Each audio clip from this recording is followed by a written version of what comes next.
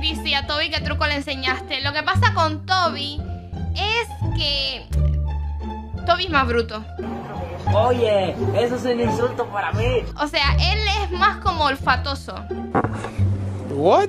Por ejemplo, esta noche, esta, esta tarde, intenté em, enseñarle de la pata. Y es una persona... Es, A ver, a ver, ¿qué pasó?